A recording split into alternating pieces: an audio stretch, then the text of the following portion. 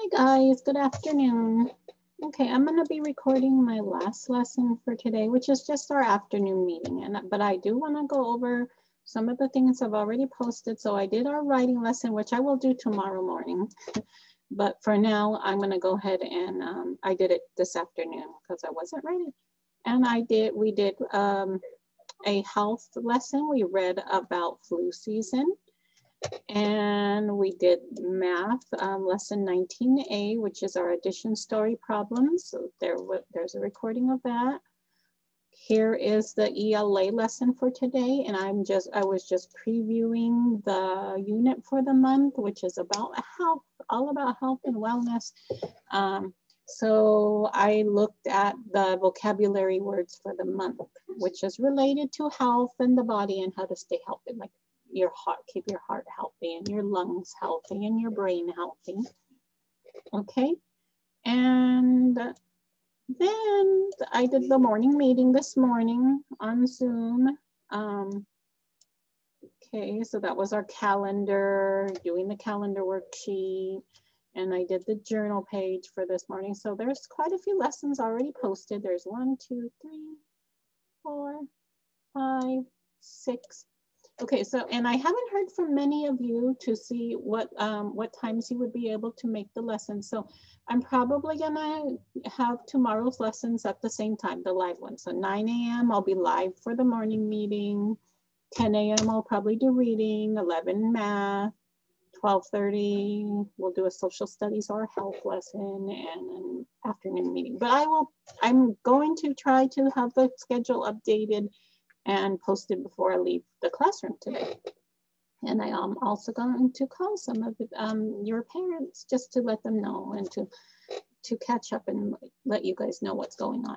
So I have a lot to do today. So I'm gonna go ahead and move on with this lesson. Let's do the daily reflection page. How was your day? So put your name at the top of the paper like this and write the date. So today is Monday, November, I'm sorry, November, January, it's one, the month is one, the first month of the year. The day is 11 and the year is 21. And how was your day? From a one, which is the worst, to a seven, which is the best, or somewhere in between. Okay, so it wasn't the best day ever. I mean, it would have been better if I had gotten to see some of you. And I did see one of you, and I'm, I'm very, very grateful to have one student attend my lesson. But I would like to see more of you, so it would be better if more of you would attend. So please check the schedule, watch the videos, let me know how you are participating because I need to know for attendance, okay?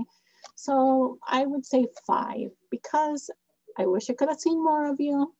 I wish we had in-person learning because I think that's more fun and I think you guys agree. Okay, so how did you do your best today? I did my best by, well, how would you rate yourself today? Were you working hard? Were you making safe choices? Were you being a good friend, listening to teachers or following rules?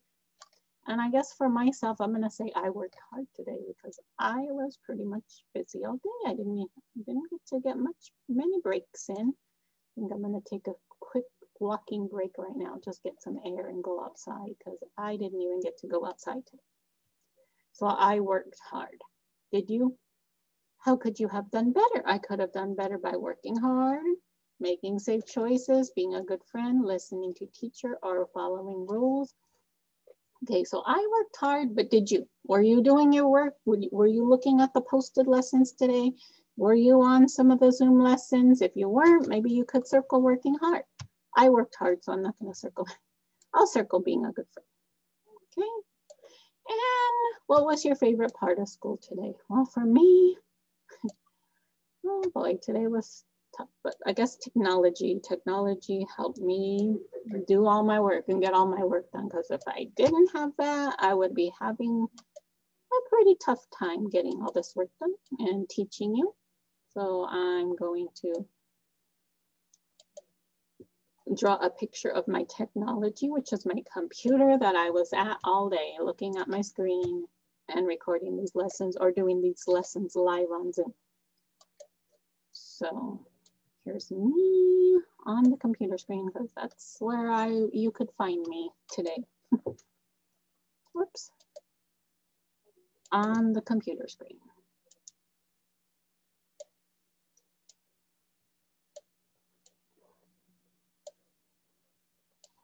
That's not a very good picture of me, but that's me on my computer screen. So technology helped me do my work today.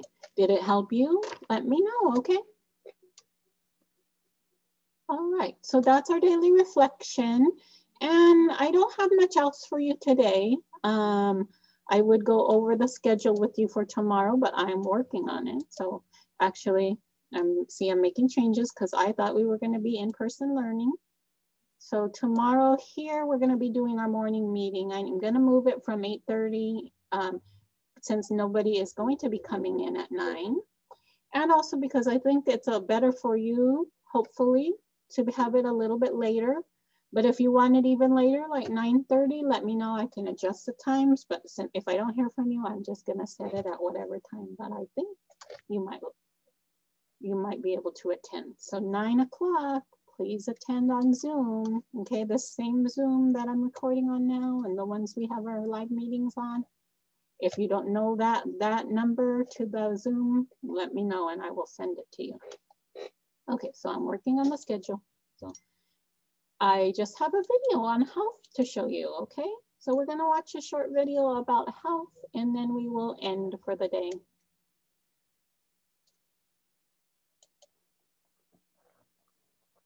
Hey, Mom and Dad. This month in advisory, we have been talking all about developing healthy habits. Here are some things that you can do to help me make those things part of my regular routine so I will be more likely to do them the rest of my life. Rest. Did you know that 12 to 18 year olds need between 8 and 10 hours of sleep a night? You can help me get the right amount of sleep by encouraging me to start homework early in the evening, helping me to shoot for a regular bedtime, and making sure that I turn off technology at least an hour before I go to bed. Fruits and veggies. Encourage me to eat healthy by stocking the house with lots of produce in a variety of colors. Teach me to fill half my plate with fruits and vegetables at every meal. This will power my body with foods and make me feel great. Exercise. Help me to find physical activities that I love to do. Talk to me about how exercise supports my mental and physical health. Not only is it good for my heart, my muscles, but exercise helps me sleep better, manage stress, and feel happier.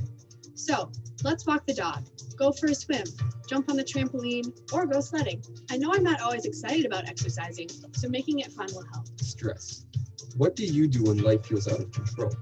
Do you exercise, meditate, play music, or dance around? Help me to find what works for me. Notice when I am stressed. Talk with me about why and help me figure out what I can do to feel better. No chemicals. Remind me that my brain is still developing and that I need to be careful about putting things into my body that can affect them. My lungs are made to breathe air, and my mind is meant to think clearly. Drugs and alcohol get in the way of my body and mind doing all of the amazing things they were built to do. I need to make choices that fit with the healthy, long life that I want to live. Thanks, Mom and Dad, for loving me and showing me how to live a healthy life. Remind me that every day is another chance to get stronger, eat better, live healthier, and be the best version of myself. Okay, so that was a good video for both students and parents, okay? Because that's what we're gonna be talking about all month. The month of January is all about health and the body and that is some good information on staying healthy. So some ways that you can stay healthy, especially at your age, you need a lot of sleep. You need more sleep maybe than, than older people or adults. Um, sleep is how you kind of rest and recharge and, and, um, and heal. And then eating healthy, eating lots of fruits and vegetables, eating a lot of food with a lot of nutrients that you need, like vitamins and minerals. Um, exercising, exercising is very important to stay healthy too. It helps keep your brain healthy, your lungs, and your heart. Okay, and so those are, oh, and managing stress, because stress is a something that can make you feel unhealthy and make you feel sick and make you feel bad. So those are some ways to stay healthy. So that was information for both you and your parents. Um, on ways that you can stay healthy. And we'll be talking a lot more about different ways to stay healthy, like foods you should eat, exercises you can do. But I'm going to go ahead and end this lesson for today. Have a good day. I'll see you tomorrow. Bye, guys. And I'll be here. I'll be here probably till after three. So if you have any questions, you